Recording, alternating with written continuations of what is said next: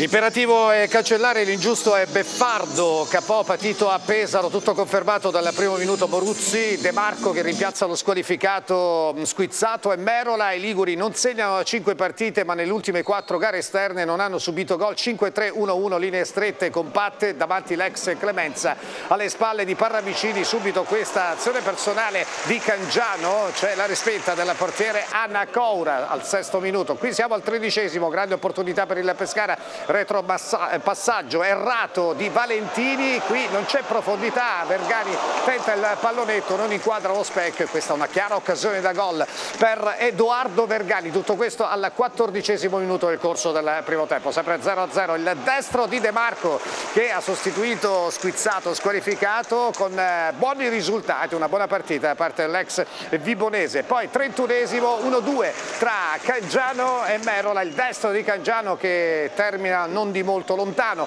dalla porta del Ligure, qui all'inizio della ripresa chiarissima, palla gol fallita, sprecata da Podda da eh, quinto a quinto il cross di Furno, il destro di Podda che non inquadra lo specchio, dall'altra parte ci prova Merola che si libera benissimo di un avversario e viene chiamato in causa Ana Coura, bravo in due tempi a dire no all'esterno biancazzurro ci sono i cambi che danno vitalità, verve e sprint all'attacco biancazzurro, tutti davvero molto bravi, ci prova Valzaria, il tiro alle stelle dopo una ribattuta di un difensore del Sestri Levante, 77esimo, Tullio aveva preso il posto di Merola, il suo sinistro, il pallone si infila alle spalle di Anna Coura che evidentemente complice, il calcia forte l'Estone, però insomma non è affatto irreprensibile l'estremo difensore del Sestri Levante, 1-0 Pescara, qui Ferraris che recupera un pallone, lo mantiene vivo, sembrava destinato in fallo laterale, Pierozzi palla in mezzo, Ventiveglia colpo sicuro